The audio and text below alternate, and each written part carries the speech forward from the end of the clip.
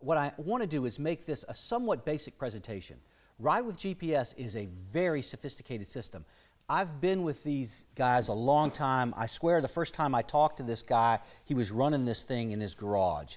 And it's turned into a big international business.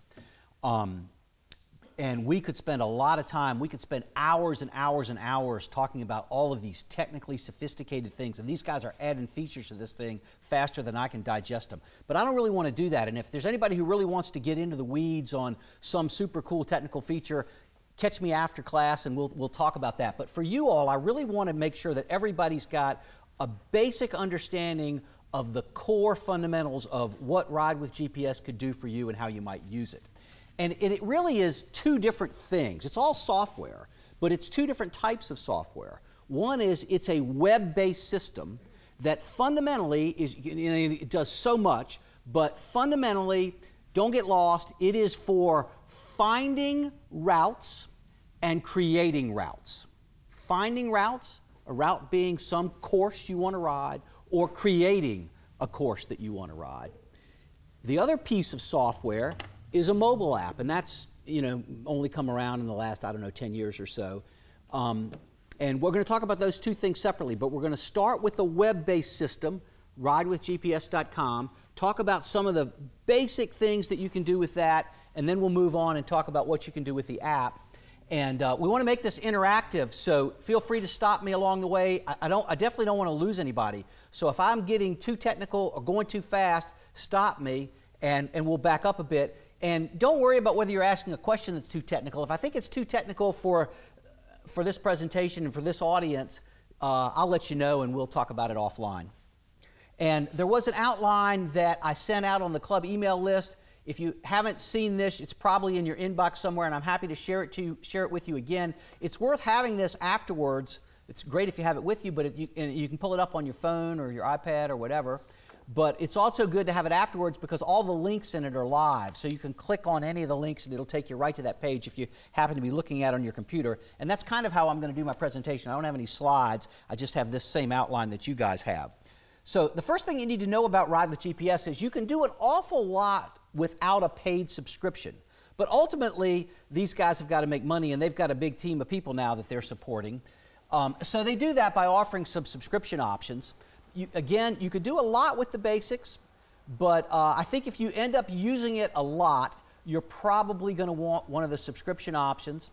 And um, what I, uh, some of my friends do who don't use it a lot, but they use it when they go on a trip, sometimes with Laura and I, is they just buy a one month subscription, which is, I don't know, about $7, and they have the full run of it for a month. And then if they're not going on a bike tour again for another six months and they don't need it locally, they just don't get an annual subscription six months later, they get another $7 a month subscription. So, just to talk about the subscriptions for just a moment, and again, there's a, you, you, do want to do a login. So, you want to have an account, otherwise, you won't be able to save anything you create. But again, and having an account does not necessarily mean you have a paid account. Having an account is a precursor to having a paid account, but you can have an account without it being a prepaid account.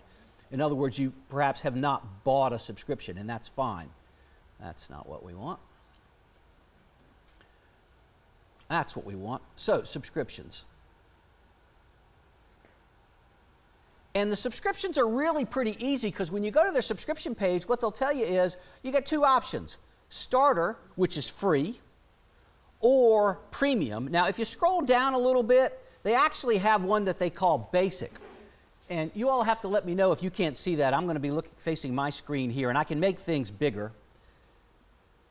Does that help a little bit? Yeah. Yeah. Let me know. I can adjust any of that throughout the presentation. Good. Yep. Um, so you can see the options here, and you can scroll down and see the differences between all of these, and you can study it. Um, but if you look over here, you can see that if you just have the starter subscription, there's quite a bit you can do. I will point out the reason that most of my friends have bought a subscription, either an annual subscription or a subscription for a particular trip, is um, turn by turn voice navigation with our mobile app. How many of you guys ever use either your phone or a GPS in your car to navigate? Well, this is exactly the same thing for your bicycle. Uh, and you don't get those spoken turn by turn directions with the app unless you have uh, one of these paid subscriptions. Now, one thing that's a bit confusing about this, but I think is important for this audience, I'm presuming that, that the vast majority of you guys are club members. There really, and I talked to the Ride with GPS folks about this this week, I think there's an admission, and the admission is that there ought to be another column on here. There really is a fourth type of subscription, and it is a club subscription. And it's available to club members. And the way it works is if you happen to be a member of a club that has purchased a club subscription, as a member of the club, you get a free subscription with some of these paid features. Very importantly, the turn by turn navigation. You get that at no charge. However, Does, it, our club, does our club have that subscription? I don't think so. does what club have it? Yeah, Capital City Cyclist absolutely does have it. Oh, yeah. Yeah. Uh, I can tell you because I've been, with Hans's help, been playing with it and I'm going to show it to you guys.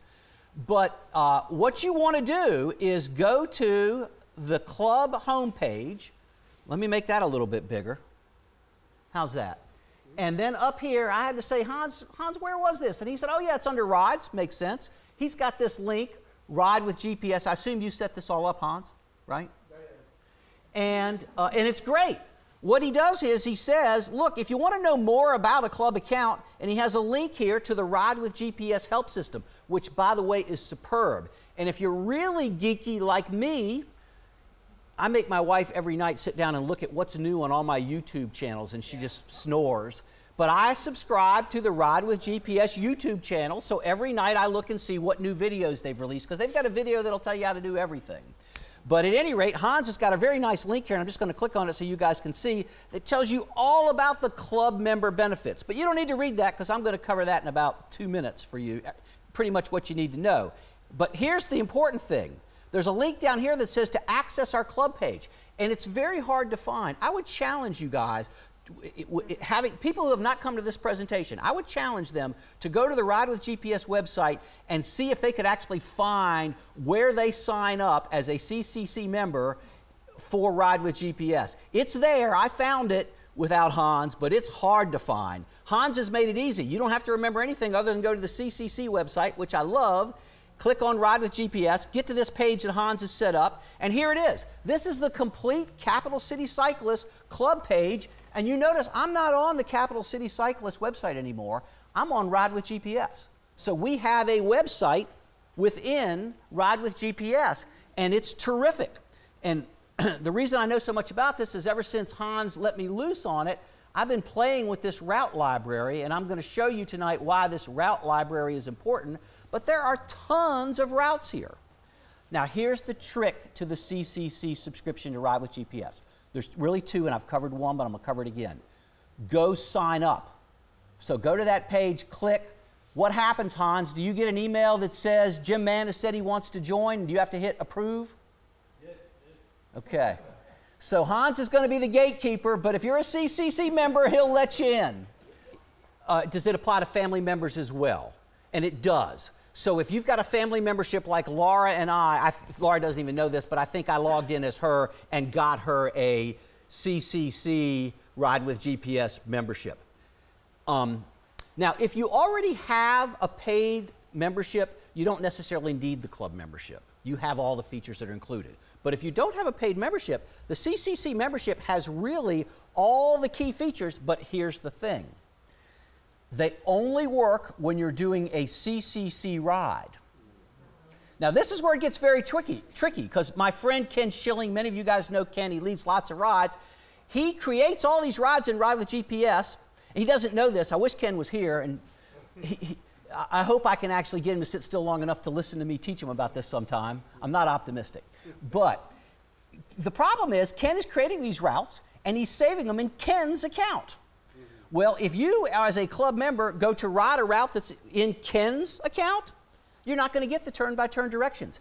That club membership only works for you. They were very smart in the way they did this. If you're riding a CCC route. So, what I've been doing is taking Ken's routes and other routes and copying them into here. And here's a little trick for you.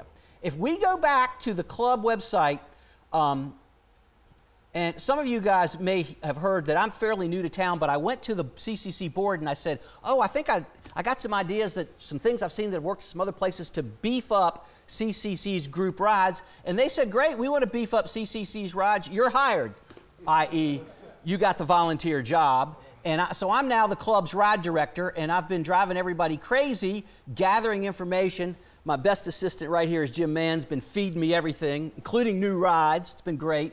But between Jim and I, we're starting to get these rides listed.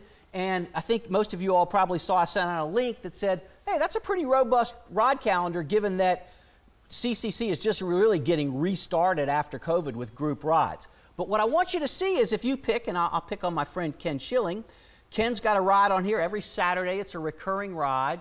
And had you clicked on this about a week or so ago, you would have seen that I put the routes in here. There's two of them for tomorrow's ride. But had you clicked on it before, it would have said ride created by Ken Schilling.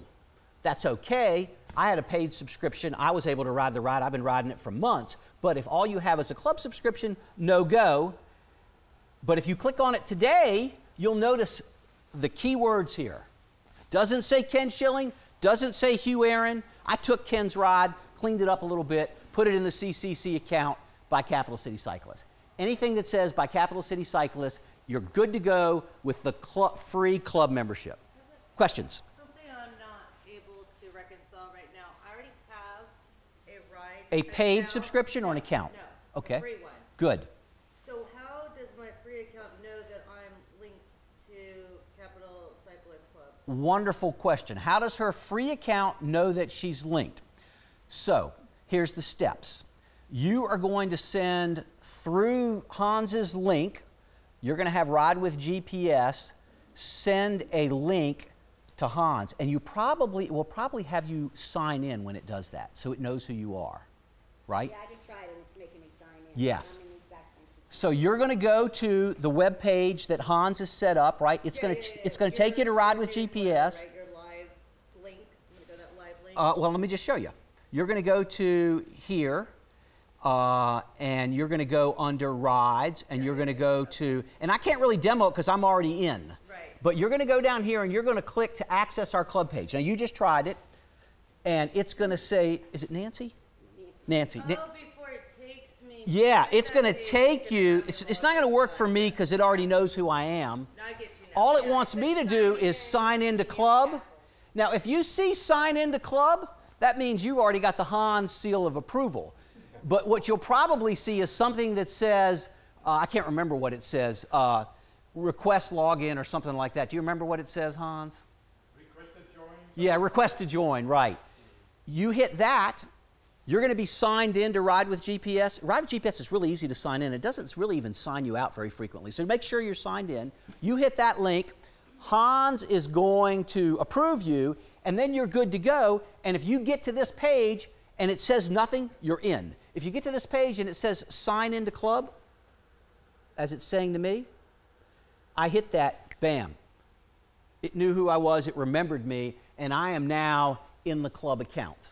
And you go to the route library. Yes. Okay. And there's all sorts of other things in here, but don't get lost in this. Again, it's so big. Focus on the basics. The route library is what you really care about. And you can search these, and you can go download one of these routes onto your phone, download the free app. You don't even have to be out with Ken or Jim or any club ride leader. As long as you've got a CCC membership to ride with GPS and you're riding a route here, you can go ride it and you'll get the full benefit. Yes? What if I already have a paid membership? I already have, and how does that? Right. Uh, that was that was my case. If you already have a paid membership, uh, I'm not sure you, you, whether you even need the club membership, but I would get one. How about if I wanted to switch? Oh, yeah. I think. money. Yeah, yeah, yeah. Uh, I- you know, I don't know. My and you could the ride with GPS uh, tech support people are fabulous. I mean, you hear back in hours, not days. Uh, you could send a you can send them a question. I have in my outline their email address. I, I probably lately have been emailing them once a day because I'm working on a bunch of things, and they're Can you just cancel your no, Dave. But uh, yeah, it may be. Uh, and then I don't know whether you have to re request or not. I doubt it. I'm just guessing now, but my best guess is he can let his he can cancel or let his subscription expire, and I suspect he'll still have his club member. Because remember, he's not canceling his Ride with GPS account; he's just canceling the paid subscription, and that would be fine. Yeah, everything I've said so far, you're going to want to be connected to the internet. Now, it, when you're riding with GPS right. and you go out of, Well, they've thought of that. These guys have thought about everything over the last 20 years. They have an option that you can download a route. So let's say you're going to someplace, somewhere that you think has spotty or no cell coverage, right? Before you go, you download the route. And if you don't know, it might be a good idea to download it. Well, when you download the route, not only does it download the actual route, it downloads the underlying maps. And the thing will work out there. With, you, you could turn your cellular connection off. Okay. So the only thing I didn't cover on the first page is the help system. And let's just take a look at that. I'm going to get out of the CCC page because, yes, follow up question. if you have downloaded, Yes. So he, he's asking if you have downloaded the route and you have no cell coverage, is the system going to know? I think you may be asking, is the system going to know where you are so that it knows to give you the next spoken cue? And the answer is I don't know much about Android. At least with the iPhone, the answer is an unequivocal yes, because in the iPhone, the GPS chip is separate from the cell reception chip. So you can use an iPhone as a GPS with no cell coverage. I suspect Android is the same. It'll be seamless. Yeah, because the same technology in the phone is receiving your GPS position regardless of whether or not you're connected to cellular. I believe that's true. But I can tell you what I know is true is it's all seamless. And if you wanted to, Laura and I are getting ready to do a big ride in Europe. And if we wanted to, we could download, so far we've got 24 routes. We could download all 24 routes, it'd be no problem. And that way we'd have them just in case. Although my experience has been that I almost never need that. There's probably out west in the United States would be the one place where I might want it. But I haven't found many places where I really needed to ever download the routes. Now, I want to make sure that you understand that it, the terminology gets a little confusing. If I was running a ride like that, I may not have everybody download them. What I might do is have everybody save them. And saving them is different than downloading them. Saving, and I'll get to this in a minute, saving them just puts the route in your account so you can use it. Downloading it literally takes all that data and puts it on your phone so it's all running locally on your phone, nothing is happening in the cloud. See the difference? So when like uh, when when the when the Spaghetti 100 comes around, you guys might say to everybody, "Here's the route library. You know, save it, and I can help with that when the time comes." There's some ways to organize that to make it easy for people. Probably wouldn't tell anybody to download it because I have not yet found a place in Tallahassee where the cell coverage was so bad that I needed to have it downloaded. have you been out of town? What's that? Have you been out of town because there are. Sumatra. Well, maybe. Hans, did you have a comment? Well, the spaghetti 100 has open source. Sp- Okay, well, in that case, people may want to download it. But you know, it's I found it to be a little bit like streaming. You know how sometimes if you have a weak signal and it buffers, but Ride with GPS is smart. It seems to like grab a bunch of stuff when it has some cell, and then if you got 10 minutes with no cell, it keeps working, and then you get to some more cell and it grabs some more. So, hey, uh, your mileage may vary. I would say, if in doubt, download. All it's going to do is use up a little space on your phone. You can clear that space later. So, I'm supposed to, I'm, I'm signing out here. I'm supposed to be signing out of the club account, but I'm still in and I can tell because it still sees my picture. Now, the help system. I just want to make sure you guys know that it's there because it is really terrific. Weird place to put it, but under the under your sort of login icon, it's got the help system. And once you get into this massive help system, it, it's they've spent a lot of time organizing this and writing it, and it's quite good. Or just go to YouTube and look for a video. Now, next concept. I'm on the second page of the outline. Rides versus routes. Let me go back to my home page. I know this is a very busy page, but you'll see in the center of the homepage, and you can organize this as you can imagine any way you want. It has today, uh, Leon County, nine hours ago, it says ride. Do you see that? Right below that, it has Tanya's tandem debut. Tanya is the name for my wife's new knee, and today was her first day back on the tandem 10 weeks post surgery. So last night, in honor of this event, I created a route and shared it with her called Tanya's Tandem Debut. It was only 12 miles, which was big for her just getting back on the bike. And uh, we did that route. So that's the route. While I was riding, though, we were navigating. When you navigate, it records your ride and everything you'd ever want to know about the ride, including a bunch of stuff you don't care about, but every piece of data you can imagine. It is a very sophisticated bike computer. I, I haven't, we, we threw away our Garmin's years ago, and for us, have never looked back. We just use these as our ride computers. We already own them, and, and, and they're full featured. Um, so here's a ride, here's a route. Those two things are different, but they look awfully similar, and it can be very confusing. The big difference is that a route has a cue sheet in it. It has the turn by turn directions. When you record a ride, it doesn't record those, it just records where you went. And if you look very closely here, I love the way they've done this now, is, you know, they've got it color coded ride route. Um, but also, if you look right here, that little icon, that means there's a cue sheet. So you have to be careful. I'm about to talk about finding, going out and finding routes, because that's something that's you could do with Ride with GPS that you might really love. You're going on vacation. You're going to, I don't know, pick a place, Panama City. You want to go ride. Let's go see what rides people have created in Panama City. Well, make sure that when you start doing that search, because it'll show you lots of stuff, it may show you rides. What you really want are routes. And more than one person has gotten out there, they have taken a ride, they've saved it on their phone, their route to go, all of a sudden, no turn by turn directions. You can still kind of follow it, but you got to do it by looking at the map and so where you are. Forget that. You want it to say, turn right in 50 feet. Can you filter that to just show routes? Uh, you can. And uh, if I forget in a minute, remind me to turn that feature on. Okay, so let's, we are now at finding routes created by others.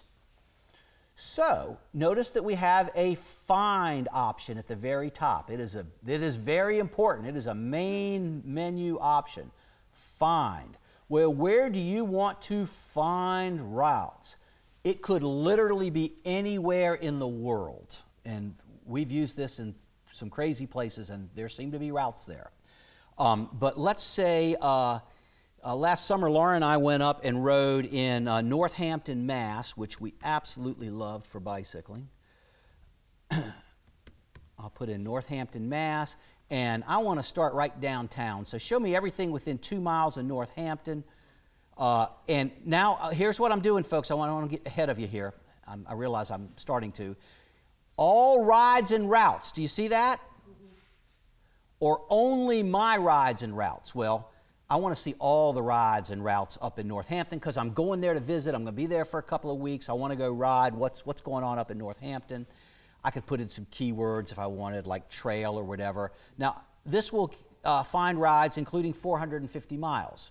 We're not doing any 450 mile rides. Uh, my wife and I generally like about a 35 mile ride. And if it's a little bit shorter and we get to lunch sooner, we're okay with that. But we don't. We want to get some exercise. So we, you know, on a normal day, if it's if it's, you know, we want it to be at least 25. So we got a pretty narrow uh, repertoire. We want it to be between 25 and 30. Now, now that my wife has the new knee, I don't know how to answer this question, but I used to scroll way down. She didn't want to do 8,800 feet in her 35 miles. Now she, she told me to keep it under 6,000, I think. No, now, Northampton's a little hilly, so you got to be adventurous here, but I'll say, give me, you know, give me everything that's 1,400 feet. That'll work. I don't know if y'all have been to Northampton, but there's a bunch of trails that converge there, so you can do it pretty flat.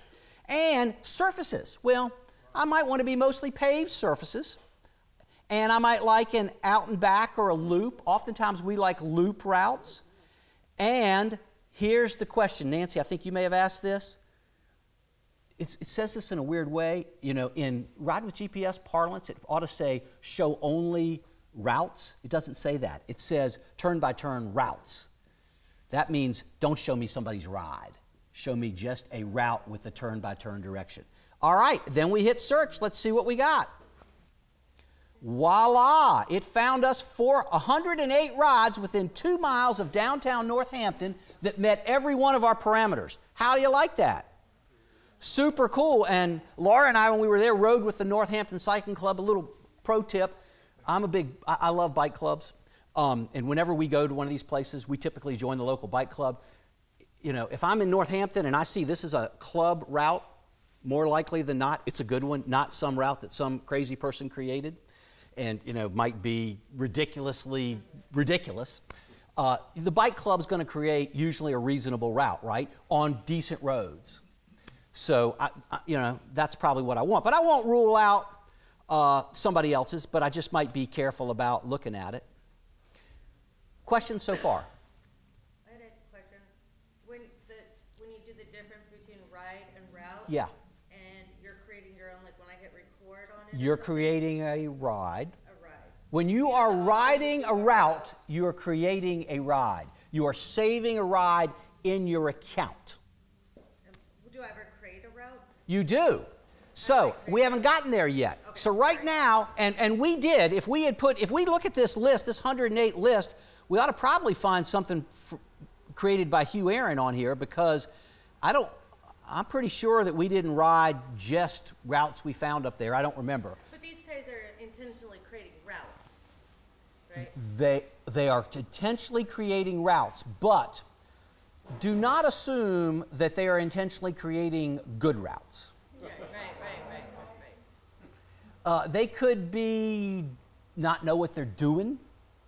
Uh, they could be creating a route that doesn't make any sense for anybody but them because they're going to see the grandmother who lives on a terrible road to ride a bicycle, right?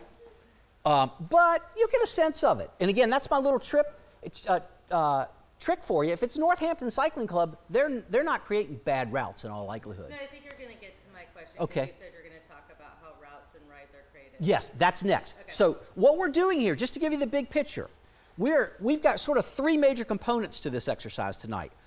Finding, we've hit the basics. Finding, creating, and using. We are still on finding, but we're getting very close to creating. Question? Mine was just, because you're on the webpage, we're gonna transition to how I do this on my app. Yes, and in fact, it's a very good question because um, everything I've shown you so far, you can do on the app as well. Okay. So, like when we go to Europe, I don't bring my computer with me, but I bring my iPad, and, and we have some places where we're staying five, six, seven days in Europe where we haven't bothered to create routes because we might wake up and say, oh, we want to do this, we want to do that. So while we're in Europe, almost certainly I'll be on my iPad. Could do it on my phone. I just like the iPad better because it's bigger. Uh, I, I might go find a route and say to Laura, hey, this is what I found. We'll look at it together. Say we like that. We'll we will save it. I'm going to talk about this later. We technically won't. We'll pin it into our accounts, and then we'll go ride it. So you don't need the computer. As you might guess, the computer is better for everything I've shown you so far, right? These guys started this thing on the computer. Mobile was an afterthought. They're really focused on mobile. Mobile is really good, but mobile didn't start out to be a computer replacement. It started out to be a GPS. Okay, now, by the way, once you pick up one of these routes, we see that this was created by the Northampton Cycling Club. Interestingly, if we click on this, we can go to a page that they have, which may be interesting, but it does not look like it's their club account. And I, I may not be a member of the Northampton Cycling Club. Um, but we see information about it uh, that may be helpful. Almost all of it's paved, 99%. In reality, probably 100%. This concept of the, of the computer knowing which roads are paved and non paved, I mean, that blows me away that that's even possible. It's not 100% reliable, uh, but it's pretty good.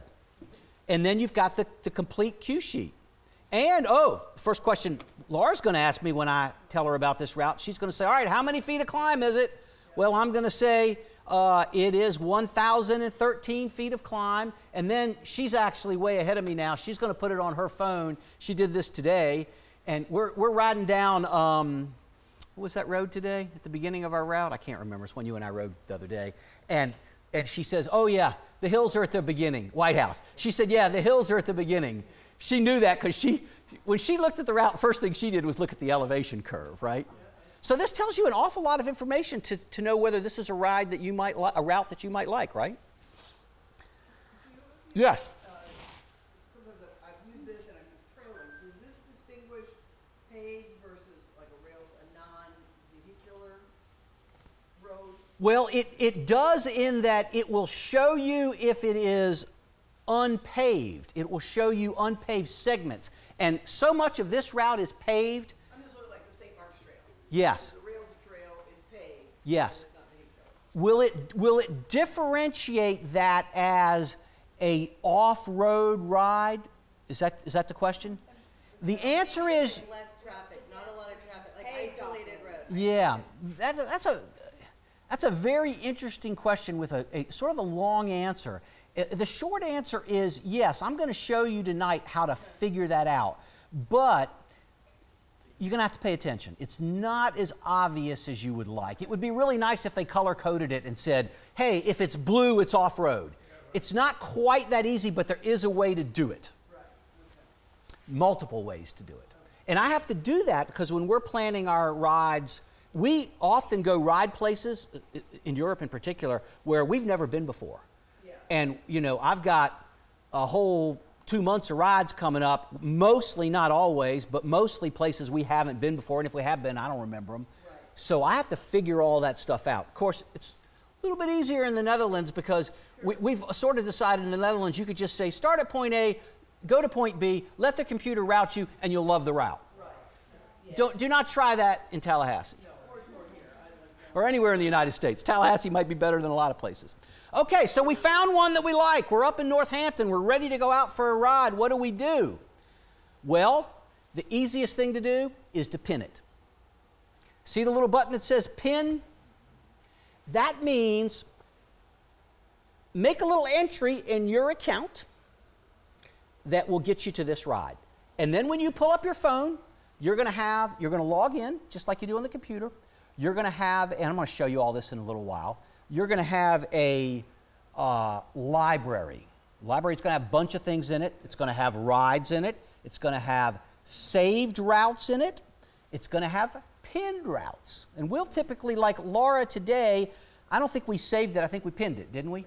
You could, she could have saved it in her library and had it for next time, but she didn't really need it. Frankly, the only reason you'd probably do that is if you think you may want to edit it. But she's, I don't think, going to change my route. She's just going to tell me to do it if she doesn't like the route. So she just pins it and then she can ride it. All she wants to do, jump in here at any point, sweetie, all she wants to do is ride it. She wants it, and, and it has to be the minimum number of buttons with her on the bike and it's telling her where to turn. If it's, if it's five buttons, she's not going to be happy, right, Laura? Yes. we had that this morning. There's a little, little bug in that she rides with landscape mode. And it, it, there's a bug in landscape mode. And last year, a year ago, we wrote them a complete essay about it with photos telling them how to fix it. And so far, they haven't fixed it. I'm a little disappointed, but we make it work. So, we could copy this to your route, and, it, and if you're me and you're up in Northampton, you may want to copy it because, again, I don't trust anybody. I probably trust the bike club. I'm going to review this route and tweak it. And I can tell you guys, I've been adding routes to the CCC library. I don't know how all the others got there. Did you put them in there? I mean, there was hundreds before I got to it. Yeah, Mostly most, you? and some were copied from Ken. Yeah, yeah. Well, my buddy Ken in particular, uh, I don't just copy his routes. If Ken has a route, I save it, I pick it up, I fix it, and then I save it. Because if you, anybody's ridden Ride with GPS with Ken's routes, you're going to be going down some interesting streets that Ken didn't intend for you to go down, but that's just how the route got created, and he wasn't bothered. He goes bam, bam, bam, bam, bam, route done, save.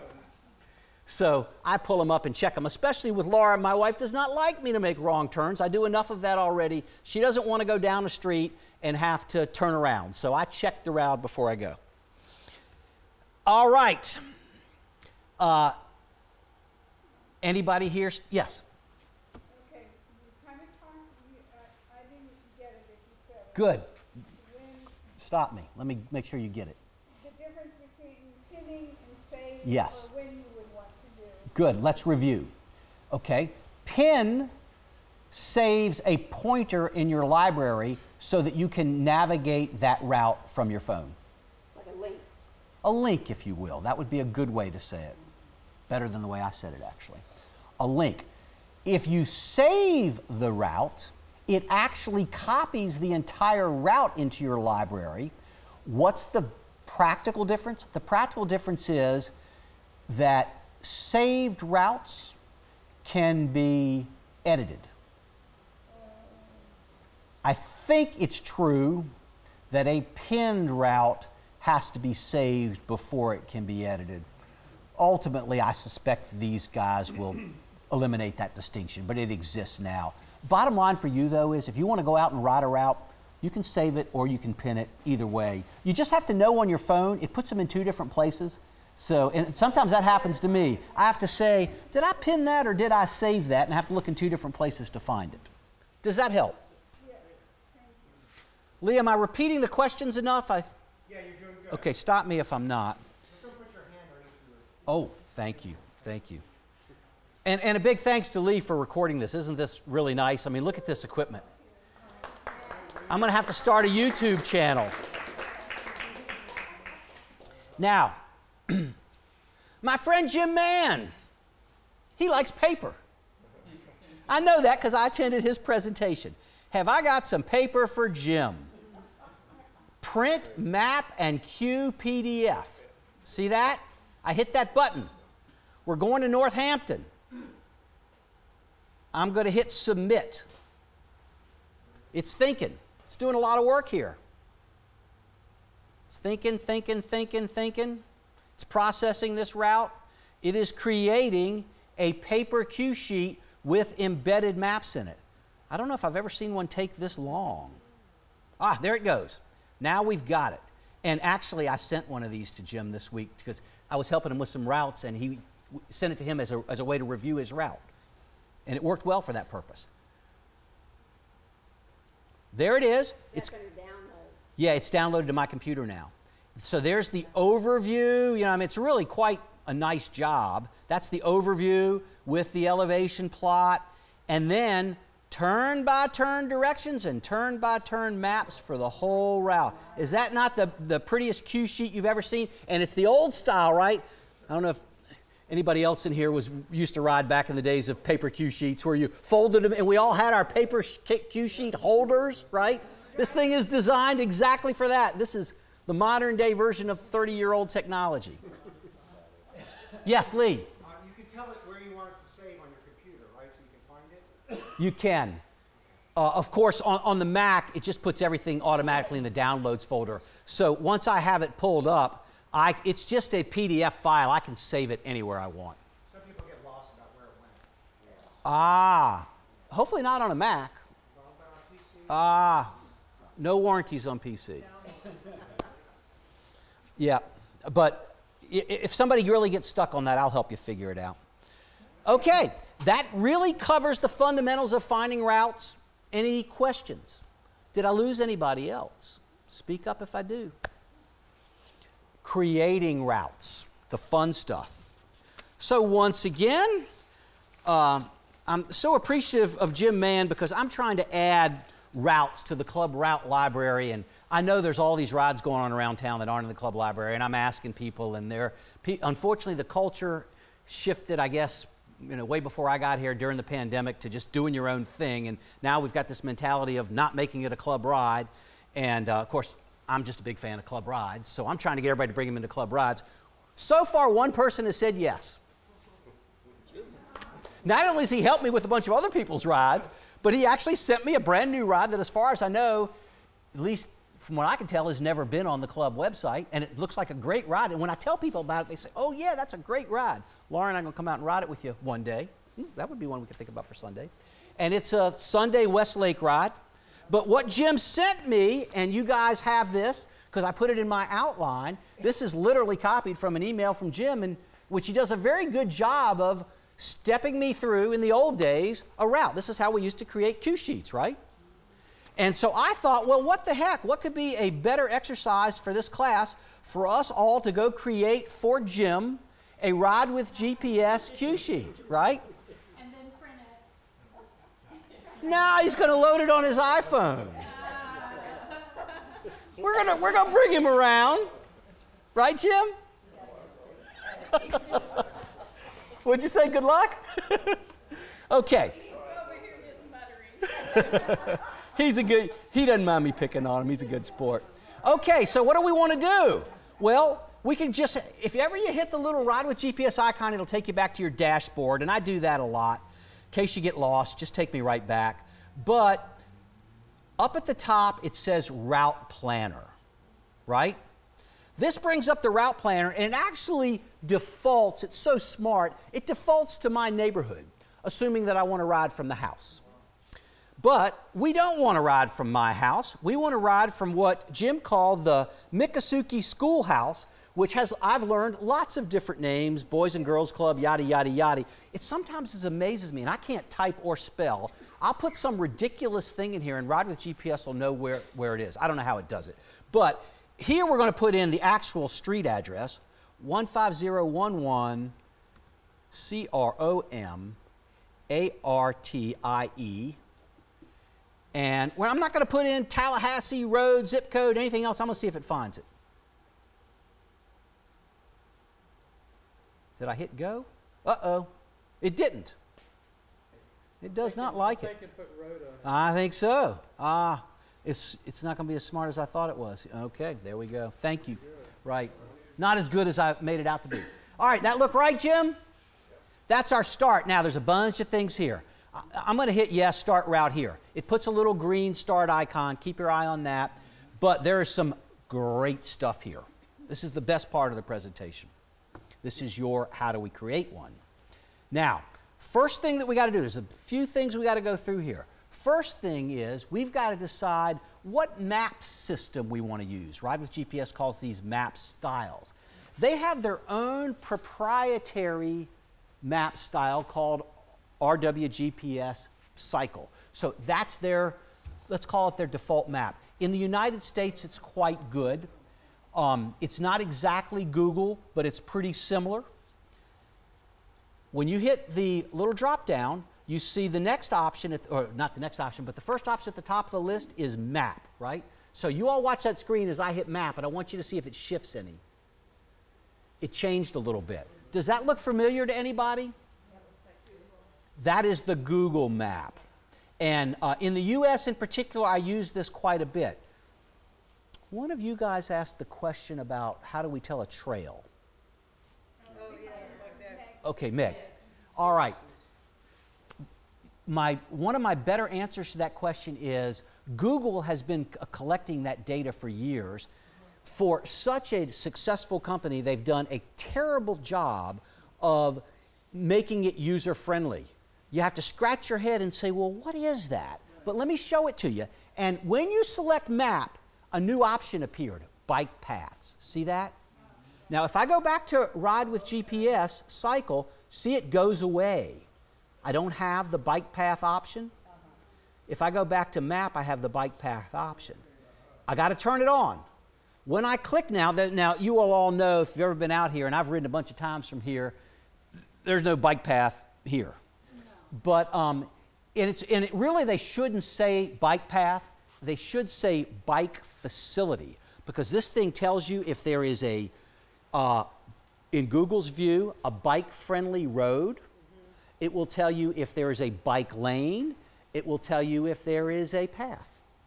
So if we were to take this and go not start here, but go start at the St. Mark's Trail because of its location, or if we were to start right here at Bicycle House, and, and we'll look at this before the night's out. You guys remind me, but I don't want to take us off of where we are.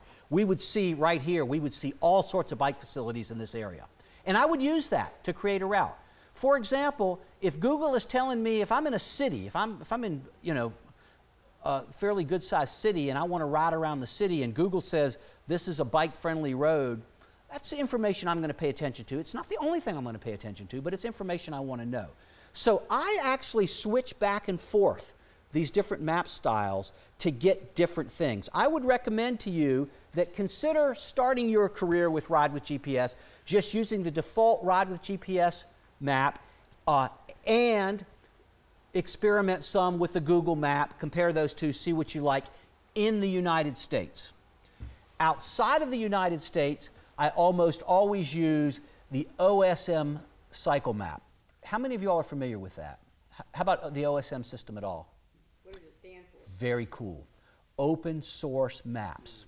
This is a global initiative of volunteers, and I've, I've thought about volunteering for this, but my wife will kill me if I volunteer for one more thing. See her shaking her head back there?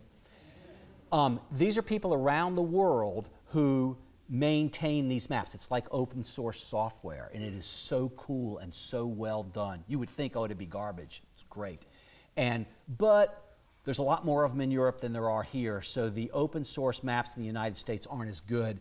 In, in Europe, it's, it's our go to map. And I, if I get a chance, I'll show you that. So help me remember two things I promised to show you St. Mark's, different maps at St. Mark's Trailhead, and also let's go to Europe before we leave tonight and go look at the open source maps there. Um, because they're almost all you need to know to navigate, at least in, in Northern Europe, particularly in the Netherlands. They're great. Uh, and they have, they categorize roads. Is this a national, interna- an international route in Europe, the Eurovelo system? Is it a Eurovelo route? Is this a regional ma- route? Is it a local route? You got all that. We actually have this in the U.S. There is a cycle route that runs through Tallahassee. Does anybody know what it is? Ah, but it's got a route name. You win, Hans. It is the US 90 bike route. Yes. Um, so actually, if we were to go look, i- i- we could run into it on Jim's route actually, because it's not too far. I, I come across it when I'm out riding from Chaires. We may see it. Of course, we won't know we see it unless we switch to OSM cycle. So let's just take a peek. And there's multiple versions of this OSM data set. I use the OSM cycle version. It makes sense. I'm not sure why you would even use a non cycle version. All right. We get pretty much nothing. But. Yes. All right, so let's go back to Ride with GPS. For Jim's route, there's not much Google has out there. There's not much OSM out there. We can, we can use the uh, Ride with GPS cycle map. I will tell you just a little technical thing. the route that you create is tied to the map style that you used. So if you create the map with OSM cycle and then you go out and ride with Google, the two might not exactly match up, and that sometimes happens to me in Europe. It's not a big deal, but these maps don't perfectly align. And in some cases, the roads are 10 or 15 feet off, so you can be riding down something, you'd be riding in the middle of the, of the river. And you can fix that if you're out there and it worries you. Just think, oh, well, what, what did I, if I'm in Europe, I say, oh, well, I know I used OSM cycle. I just, in it, you, those same map styles that I'm picking here, you can pick in your phone. So I just say, oh, let's switch to OSM cycle and it puts me back on where I should be. Okay, so what Jim said was, oh, no, not quite ready yet. There's something else on this map that is probably my favorite feature, certainly in the United States, favorite ride with GPS feature, and it was one they didn't have initially, but they created some number of years ago, and it's heat maps. Heat maps. Heat map means they aggregate data. So I've got a ulterior motive. Other than beyond just educating you guys tonight, I want to have all of you all out there doing all of your rides with Ride with GPS turned on because all that data gets fed to Mother Ride with GPS and they create a heat map from it. So if a thousand people are all riding a ride, there's a pretty good chance that's a decent road to ride, right? If I look at a road and nobody's riding it, mm, there's probably a reason, right? Sometimes doesn't stop me, and I usually live to regret it. Um, and it does this. There, and there are. Let me back up. There's two versions of the heat map. There is the global heat map, which is what I just described. That's everybody that's riding. It colors the road red. The redder the road, the more people that are riding it. It's also personal heat map. And if you have no memory like me, personal heat map is great, especially in Europe because we're, we're going back to the Netherlands first month of our ride this year is in the Netherlands. I don't know how many rides we've we done in the Netherlands, four or five, a bunch of them, but we don't know where we've been. So I'll keep that personal heat map turned on and I'll be able to say to Laura, oh, we've actually ridden this road before. Uh, that's the personal heat map. Uh, handy, but what's handier is the global heat map. And you'll see that's what I have turned on now. But let's just turn on personal heat map. Do you notice that it turned blue? Some of these roads turned blue? That means I've ridden them. And sometimes I'll be out riding, because we're fairly new to town, I'll be riding a road and somebody will say, Have you been on this road before? And I'll, I won't remember, and I'll turn on personal heat map and say, Oh, yeah, I have. Um, so, yes. I was just thinking the heat map would, would show where you sh- have shade or not shade. That would be nice. Yes, wouldn't that be a terrific feature? In addition to pavement shading, they could do it, right? Because they've got the satellite data. That is a great idea. You should submit that. Now, Jim says, so we're going to keep on the global heat map and see if people are riding Jim's route. He says turn right, oh, turn right at Highway 59 at traffic light. Well, Jim, I don't see a traffic light. What am I supposed to do here? Am I coming out on this road? Is this 59 right here? I don't think so. Okay, I'm going to the left. So I really should say left out of the park, right? So I'm going to click on the road, and when I did that, it drew a line. Now I want you to notice something. I think this may be where my friend Ken is going astray. I think he's clicking here in the intersection. Never click in the intersection, it confuses the system. Always click at a point where there are no decisions to be made, right? So I've just done a bad click, favorite button on any computer, undo, and I'm right back where I was. So far, so good, Jim? Now, Jim, you're saying turn right at Highway 59 at traffic light. Now, is Veterans Memorial Road 59? Fantastic, okay? I'm going to click right. So I just went just a little bit beyond the intersection and clicked. And it's building the route as I go, and it's giving me the cues and the data. See, see this? Now, that turn right is bizarre, isn't it? For some reason, it's saying turn right in the middle of the road. It does make mistakes. Uh, now, if I don't like that, I can just undo and go back. And what I really can do, now that I know where Jim's taking me, oh, I lost my start, so I'll hit my start again. I'll start like right here. And I can just go to really here. Now the cue sheet says left onto Cromartie, right on Veterans Memorial, CR 59. See that? Now I've got a clean cue sheet. Had it put in that strange, erroneous cue, I'm going to show you in a little while, if we were paying attention, we could have just gotten rid of that even after we'd done with our route. But if you pay attention as you go along, you'll have less cleanup at the end. Just kind of look and see what it does when you click.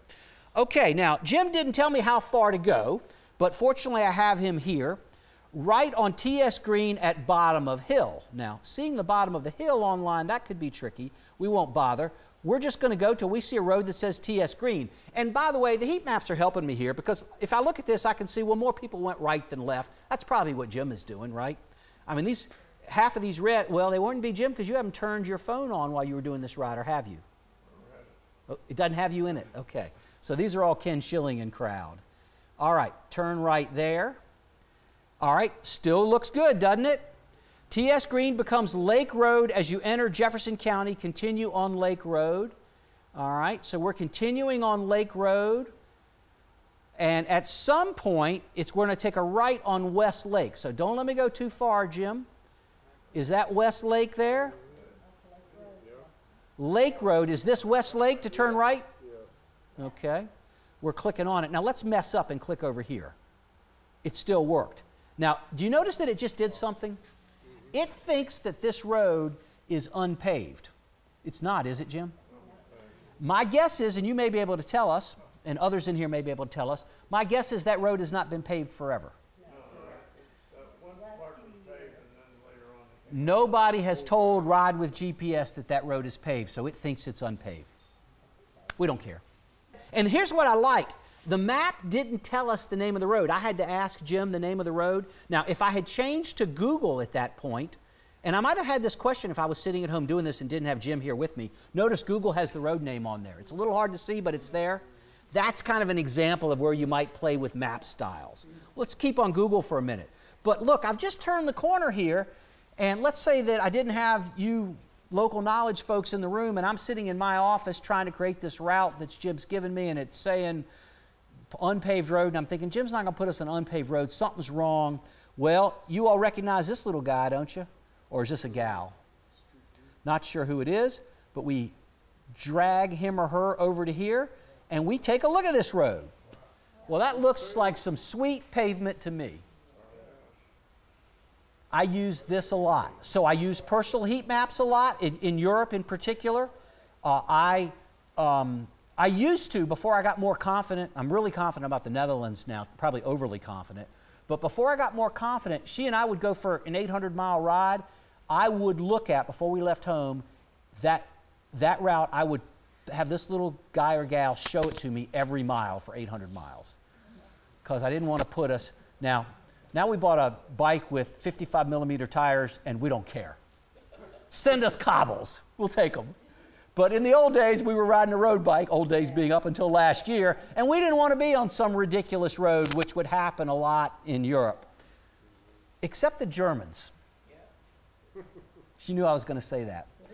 I don't know if you guys know this about the Germans, but the Germans are very, very protective of their privacy. I'm told that it actually goes back to sort of a cultural shift that happened with the Nazis getting people's personal data, and the Germans are obsessive about it.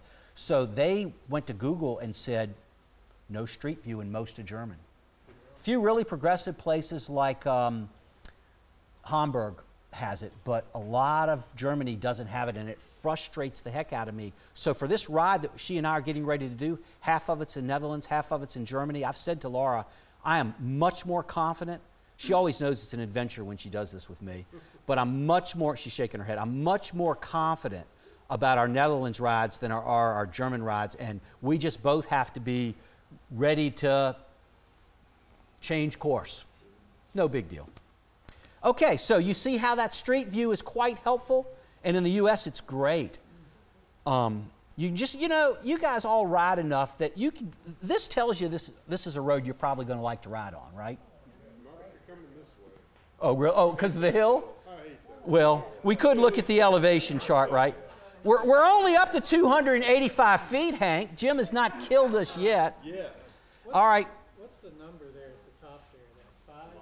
Ah, that is telling you that's mile five of your route. And that's an option that you can turn on and off. And I'm glad you asked because there's several of those options. Uh, they're under settings. And um, Notice that I have turned on surfaces. I have turned on points of interest. Jim might say, let's say there was some school or a park that he knew was particularly good for a rest stop. He gave me this in Havana, some church that has a social hall that's good. I created what's called a point of interest. I don't know if you saw it on that cue sheet I did for you. And when somebody's riding along, their computer will literally say, turn left into the church social hall for a rest stop. And we could even say, oh, and they have ice and batteries. We could actually have the phone saying to this person, they have ice, I mean, ice, ice and water, ice and bathrooms. You can embed all of that stuff. So if I have points of interest, I want to see them. Distance markers, that's, I have that turned on. And then when we go to Europe, I might switch this to metric, but for now we're doing imperial. The only thing I really don't have turned on is cue icons, and I'll put that on there and show you what it looks like. I just find it to be clutter, but I know that the Ride with GPS experts, they like it. So it, it's basically just, you, at a glance, you can see every turn. That little box tells you a turn, right? And if you click on it, it tells you the turn that will be in the cue sheet. And by the way, you can add whatever you want to it here. It gives you a default cue for every turn. You can change it. Okay, let's continue on. Uh, we are going to continue on, Jim, and I'm going to sort of fly through this because it looks like to me, I don't even have to read your cue sheet. I'll bet you're staying on that road to at least here. Am I right, Jim?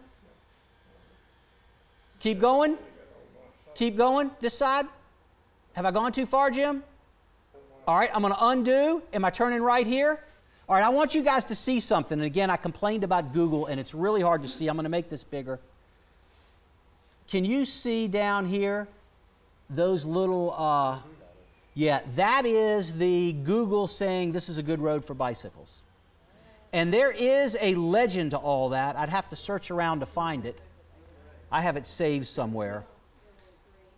Yeah, right. And you may not agree with them. Okay, so let's keep going, Jim. How far are we going down on 90? All right, past 59? Sunray, got it. So we're going to turn right on Sunray? So I'm just going to click up on Sunray, and it did it, and you see it put in the cue, right? Now what, Jim? Do I go to here? Left on Ro- Rococo or not? Okay. All right. And now, am I just going back to the, to the beginning of the ride? All right. And you can see there's only kind of one way that everybody does it.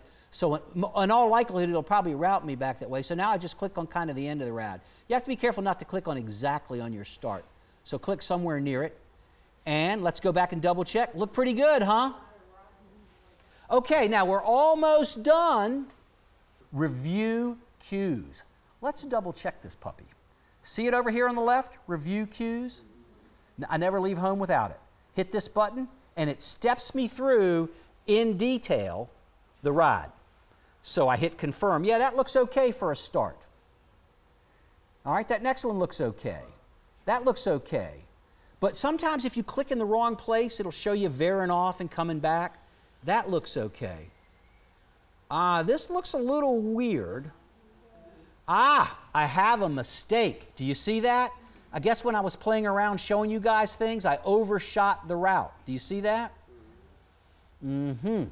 Now, there's a bunch of ways to fix this, but what I usually do is just uh, return to route planner. This is probably not the most efficient way. I do this kind of the manual way. This is called a control point. Everybody see it? I pick that up and I move it back over here. I fix the route. It'll remember where I was in review. I hit review and I start over. Now it looks pretty good, right? Except it's telling me to make a U turn. Ah, that isn't good, right? See that? Straight, make a U turn in two tenths of a mile. Now we can go up and look at that.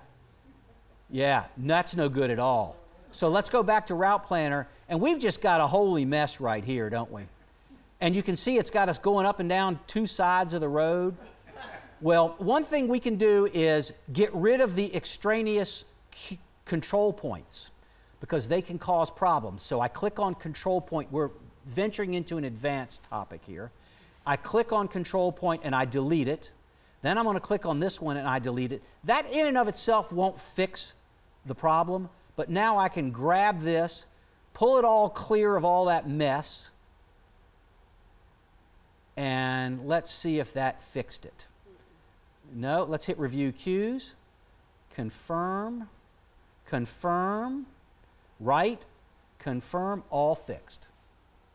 So I just kind of cleared out my mess and I said to Google, don't worry about those bad control points I put in. That's a place where I clicked where I shouldn't have. Don't worry about those. I've just taken them out of the picture. Just redraw the route coming right through here, and it did it. So we're going to confirm.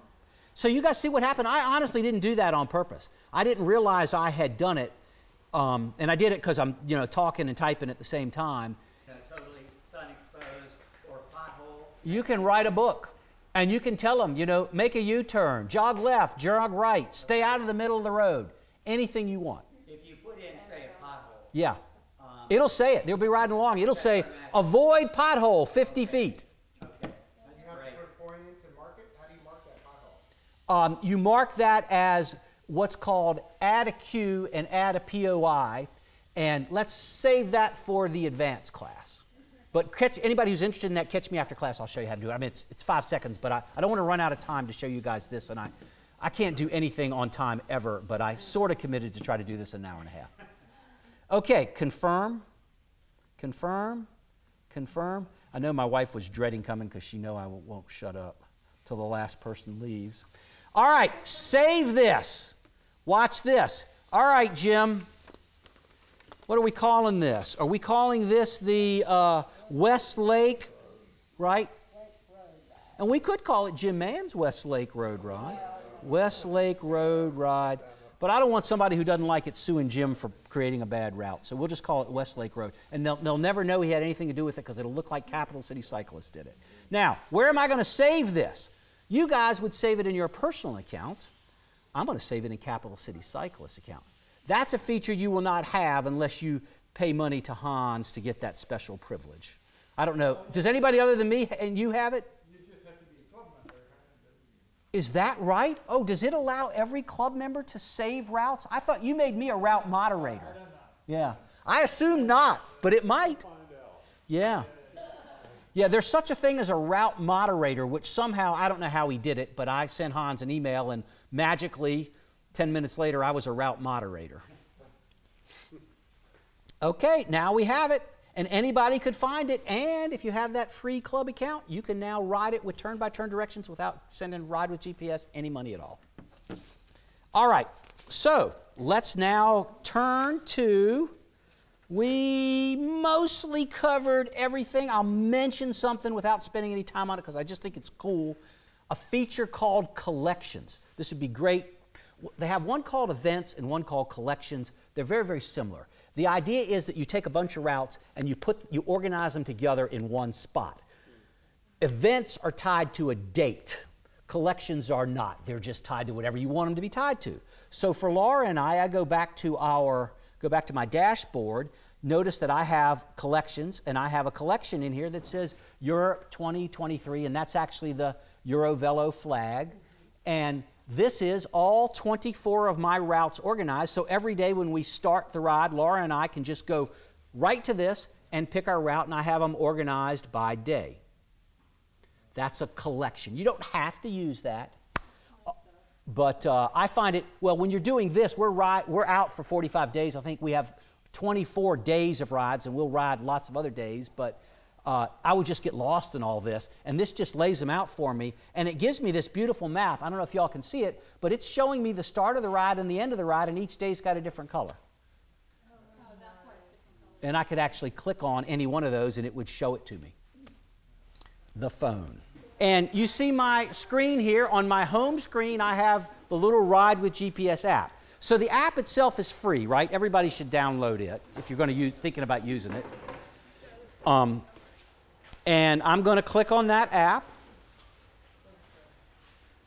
And here we go. And it remembers where I left off today, and this was the saved ride um, that Laura and I did this morning. I'm going to click the left arrow and go back to the main screen. Oh, and now it's taking me back to the route. So it's a little confusing. It'll take you a while to get used to that. What we were looking at at first was a recorded ride. Now what we're looking at is the route that we rode. Does that make sense? Now, it's going to go wonky here because we are not out at the St. Mark's headwaters, which is where she and I started. But if we were, I would simply hit navigate and it's giving me my first cue. Oh, but it says I'm off course. Watch this feature. This is crazy. You see, it says tap to route back to course. In theory, it's now going to step me from here with no human intervention whatsoever. It's going to step, step me back to the St. Waters, St. Mark's Headwaters, Greenway. Who here is ready to go ride this route sight unseen? It would be interesting, right? Yeah. I don't know. I mean, we think this is a great place to ride. I, would probably ride it, but that's what we get. So you see how it works. It looks like a GPS, right? Uh, that you might have in your car. Uh, I just made the little cues smaller because it's got a big off course. That can be that feature though that can be handy because like Laura and I, we'll get off a ride when we get hungry. We'll ride into some little town. Well, I'm not riding my route anymore because I don't build in a lunch stop. We that's something we just, you know, we go to lunch when we feel like it. And then we're finishing lunch and I'm, you know, feeling really lazy. I don't have to think about anything. Tap back takes me right back to where to the route. Um, you see that I have the map here, and you will see that I have um, it's showing the route, uh, and it's showing us the little blue dot, uh, and it's showing personal heat map from when I last rode here, and it's got all this red everywhere, right? That's all because everybody's riding bicycles around here. I mean, is there a place with more bicycle riding in Tallahassee than Bicycle House? I'd be surprised. And uh, 95% of that red is Scott. They're going to need a new color for this. I mean, it's glowing red, right? So there you have it. Now, down at the bottom, I have my bike computer, and any one of these fields can be anything I want it to be. Uh, and there are multiple screens. So I go over here and I say, well, what's our elevation here? Somebody, I did a ride with a friend down to the lighthouse this week, and he said, what's the elevation here? And I said, oh, it says we're 16 feet. That seemed about right. So it just gives you all the data you could possibly want, which is why she and I just, we used our Garmins till they died and we couldn't resurrect them and we buried them at sea and moved on. Uh, I, I, mean, for me, I get everything I would need here. I realize that if you're, you know, hardcore racer and you're doing segments and stuff like that that I don't do, you may still want the Garmin. Um, and you might say, well, the Garmin does all these cool things that Ride with GPS doesn't. Well, Ride with GPS doesn't want to get Garmin to get ahead of them. So you know that bike radar? Does anybody ride with that? Vario or whatever? That even interfaces with Ride with GPS. So you can get the radar screen right on Ride with GPS. So it, it, there, there are interfaces to everything. I have that in the outline. It'll give you the links to them. You can sync this with your Garmin. You can sync this with your Wahoo. You can connect it to st- stuff. I, oh, yeah, yeah, yeah. Connect it to stuff I've never even heard of. And I know a lot of people do connect this to Strava. Okay, so if I, you see how I navigate it, right? Now let's say that we want to go ride Jim Mann's ride. Now we've saved that route in the CCC library, haven't we? So if I go to the home screen, you'll notice on my home screen I have a button in the middle called Clubs, because I'm a member of about five clubs on Ride with GPS. So I hit Clubs, and we see Capital City Cyclists at the top of the list, right? And I click on that, and there's 125 routes in here. Click on that, right? And look at the top of that list. Yes. And that all happened in the cloud, right? I never connected my phone to transfer anything back and forth. And I know it'll do all that with Strava and Garmin's and all that too. Somebody else will have to teach that class how to interface Strava uh, and Garmin's with Ride with GPS. Um, and there we go. So now we're out there at uh, the Boys and Girls Club or the school and we're ready to go, Jim. All we do is hit navigate. Now, what I do is I know this thing, you guys that are racer types are going to look at this and cringe. You spent $2,000 on your bicycle to avoid this weight. But I put this on my bike, and, and they sell it with a lighter clamp, but this one's a quick release, so it's the one I brought today. Clamp this on my bars, I just keep it on there. I pop my phone in here, and this thing will lock, but it's so good I never have to lock it. I mean, you can hit the biggest bump in the world, your phone's not coming out of this thing, and away I go. I hit navigate. Now, I have a little bag on my top tube on all my bikes, and I put this in it and I'll get, you know, like three days out of it. And I turn this on and I start the ride at 100% battery and I end the ride at 100% battery. So, what is the Garmin doing though that this doesn't? It does do something this doesn't do. Well, first of all, with the Garmin, you wouldn't need the battery, right? Uh, also, the Garmin is better at dealing with rain and really bright sun. We have to deal with that in Europe. Now, we try not to ride in the rain, but if we have to ride in the rain, we'll. Uh, we'll do something. The biggest problem we've had, and it doesn't happen very often, is rain gets in the port, and, and then I'll be sitting at lunch with a little piece of tissue trying to get the water out of the port. Although I found if you keep the battery plugged in, the water doesn't tend to get in there. But the Garmin's clearly superior in that regard. Yeah, I'm not worried about it damaging my phone. I mostly worry about I can't charge it because have you ever seen that message, water in the port? Yeah, and then it won't accept the charge for two hours. No. But remember, I'm riding along with it always at 100% charge. Yeah, you could. That may be something that we could think about. Yeah. That would be a great solution. I actually have a low tech solution. Oh. Yeah, right. My low tech solution is a baggie. And if I just stick a baggie over it, it's good enough. If it's riding that hard, we're going to find some place to not ride, right? Uh, this is just uh, Amazon.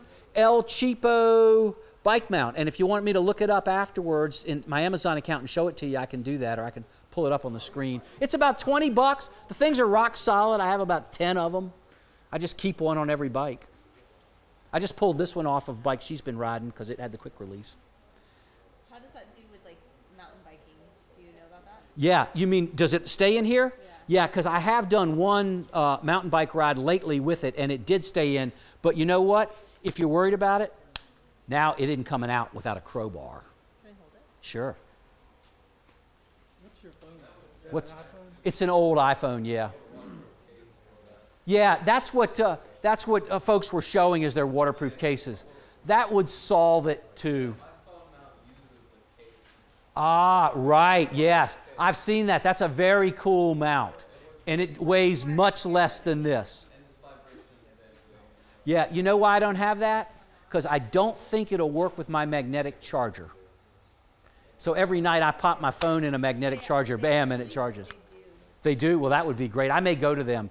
So, at any rate, now we just hit navigate. We're out navigating this map, and you see the little button down at the bottom? Well, when we're done, we hold that button down, and we can either resume ride or finish ride. When we hit finish ride, I don't know what we have in here. Then we hit save. Now, if we want, we could just delete it, which is what I should normally do, but I'm going to save it just so you guys see it. And now I have this ridiculous route that lives on my phone and on my iPad and everywhere, right? And some fool's going to come down here looking for a good ride and do it. I found it depends on how old your phone is, right? If it's a new, my, my wife can go twice as long as I can. So we're always riding with both phones loaded up in case we have a problem.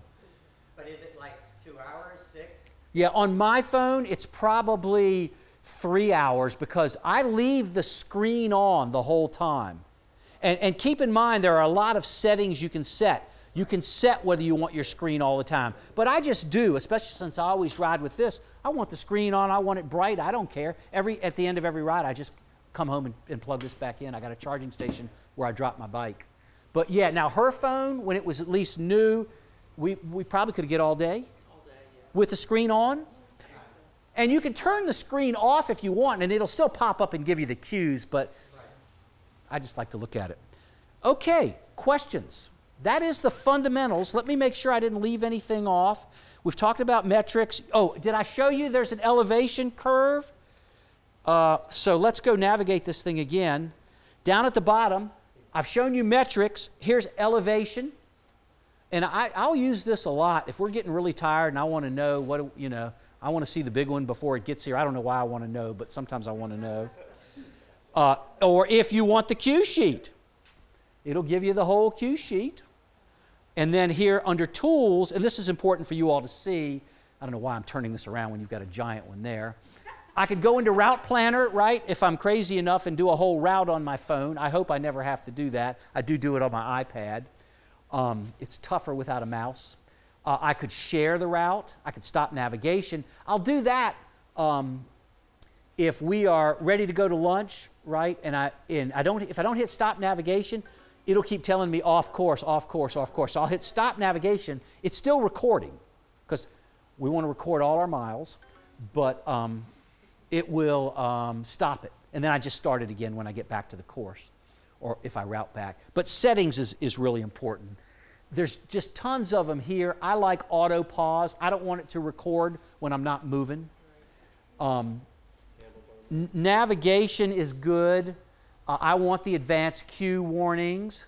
I want eminent cues, visual. I like a lot of that stuff. I don't want the tones. I don't want it going beep and then telling me there's what it's going to tell me. Just tell me. I don't need a beep. I want spoken alerts. I want off course alerts. So I use almost all of that stuff, right? Somebody asked about handlebar mode. Keep screen on and lock orientation. We should play with that lock orientation for you. Yeah. Yeah. We should play with that. And the only other thing I wanted to show you was we do have all the maps here. This little button right there, I know you all can't see that on the screen, but it is, I'll show it to you. This little button right here is gets you to your map options. And this is quite useful. Do I want to see directional arrows? You might. Do I want to see the distance markers? You notice I have that on by default. I like that. Do I want to see the POIs? Do I want to know that Jim's Church Social Hall is where it is on the map? Yeah. Do I want the cues? I keep that turned off because it's speaking the cues to me. I don't want to clutter. To me, that borders on clutter. But you may feel differently about that. I want to see the scale. I want to see the surfaces. I definitely want to see my heat maps. I love them. And then here I'm writing with what they call normal map, which is really weird because it doesn't, I don't know that there's anything on the computer called normal. So uh, that might just mean Google. But here's Ride with GPS. In Europe, I will ride with these OSM maps uh, because I want to see all that, that map data. But that's it. And I'm happy to take any questions as a group or individually. Well, they might call it Ride with GPS, but we're breaking in her new knee. We went out and did a five mile hike the other day. Guess what we used? You just put those parameters. Yeah. No, oh no, I didn't find it. I actually created it. We were wanted, we wanted to go over to the Alford Greenway, so I sat at home and she actually said she wanted a two mile walk, but I made a walk that turned into five miles, and off we went. Um, oh yeah, yeah. You can route, you can do off road stuff with this, no problem. It has all sorts of trails and stuff in it. Absolutely. So, I, right now I'll hit share, and I can hit share, and I can send this any way I want to anybody I want, and they'll be able to do the free stuff with it. They, but if it's a CCC route, they still won't get turn by turn directions unless they are a CCC member. This is a member benefit. These are super easy to share. So this morning's route, I just uh, texted it to my wife, and we got to the start, and she hits text. She clicks on the link in the text, and it opens in Ride with GPS. Any other questions as a group? Thank you, ladies, for putting this together, and thank you to Lee. Tell Jane I ended promptly at 7:30 and covered everything.